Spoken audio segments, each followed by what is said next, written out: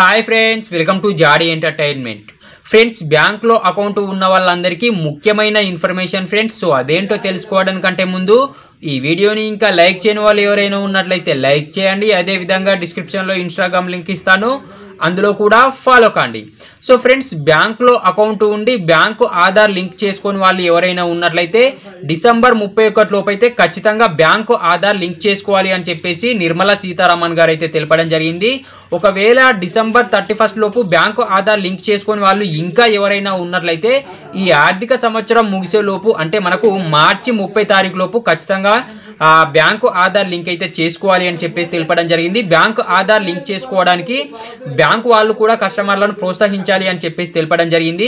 ఒకవేళ bank Aadhaar link చేసుకోకపోయినట్లయితే కస్టమర్కే నష్టం జరగడం అనేది ఉంటుంది. ఎందుకు అనంటే ప్రభుత్వం అందించేటటువంటి సంక్షేమ పథకాలు ఏవైతే ఉంటాయో ఆ సంక్షేమ పథకాలన్నీ కూడా బ్యాంకు ఆధార్ లింక్ ఉన్న వాళ్ళకే రావడం జరుగుతుంది. బ్యాంకు ఆధార్ లింక్ లేని వాళ్ళకి సంక్షేమ పథకాలు అందడంలో ఆలస్యం కావడం జరుగుతుంది అన్నమాట సో కాబట్టి బ్యాంకు ఆధార్ లింక్ చేసుకుని వాళ్ళు ఎవరైనా ఉన్నట్లయితే ఖచ్చితంగా మీరు డిసెంబర్ థర్టీ ఫస్ట్ లోపు అయితే లింక్ చేసుకోండి. ఒకవేళ వీలు కాకపోతే లేకపోతే మార్చి ముప్పై తారీఖు లోపల బ్యాంక్ ఆధార్ అయితే లింక్ చేసుకోండి. సో ఫ్రెండ్స్ ఈ వీడియో మీకు పూర్తిగా అర్థమైందని నేను ఎక్స్పెక్ట్ చేస్తున్నాను. ఈ వీడియో కనుక మీకు నచ్చినట్లయితే డెఫినెట్గా ఒక లైక్ చేయండి.